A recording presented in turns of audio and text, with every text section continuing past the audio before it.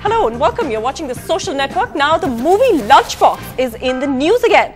Why? Well, the Film Federation of India has decided to react to the much publicized disappointment at the Lunchbox not being selected as India's entry for the Oscars.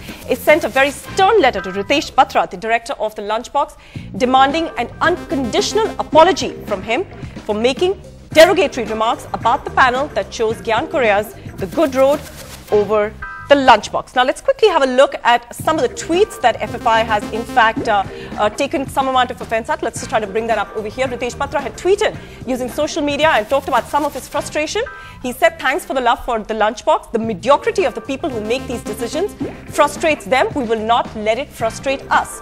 He also then uh, uh he also then goes on to talk about the fact that congrats to the good road. Hope it makes it all the way, else it will be a lost chance by FFI appointed jury that lacks vision hope I'm wrong. Remember, we'd also seen uh, uh, many uh, reactions on that particular movie by Karan Johar and, of course, uh, Anurag Kashyap, who had also tweeted uh, about, the, about their disappointment that Lunchbox was not, in fact, selected. Anurag uh, Kashyap had tweeted saying that I don't know who the federation is, but it goes to show why we completely lack the understanding to make films that can travel across borders. And just to bring up uh, that, uh, that uh, letter that the FFI has, in fact, written to Ritesh uh, Batra, that's also on your screens at the moment.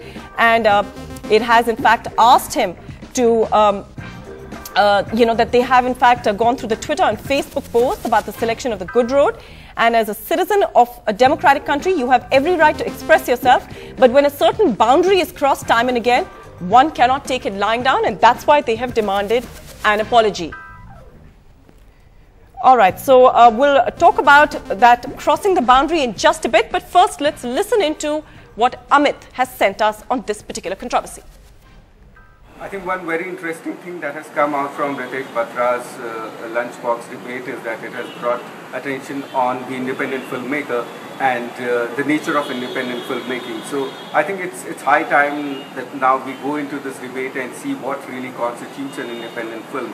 Is it is it just the kind of film that a filmmaker wants to make the subject the theme, or is it also about the money and where the money is coming from? Today, offbeat films get finances from several international sources. Something an independent um, filmmaker would also typically do.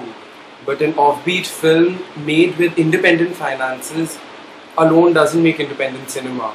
So it's more um, more about uh, clear departures a film makes from um, commercially viable themes that mainstream industry supports. So independent cinema for me uh, would be something where I don't have to um, compromise on the subject and at the same time I can question the norms if I want to freely.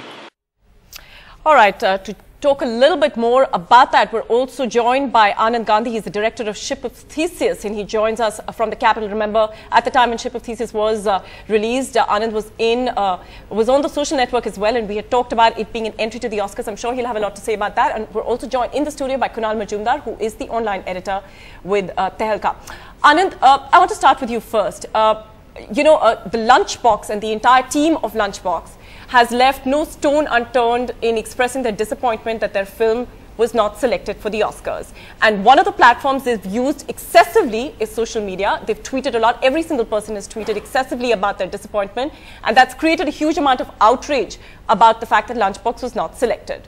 What, what are your thoughts on that?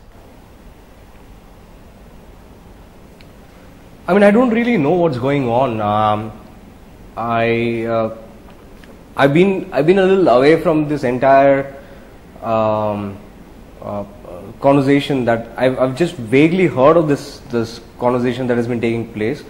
Uh, when every once in a while somebody posts on my timeline asking me what happened to Ship of Theseus and and why wasn't it uh, India's entry and I uh, I mean Ship of Theseus was also in the running was also uh, uh, was also put out there for consideration.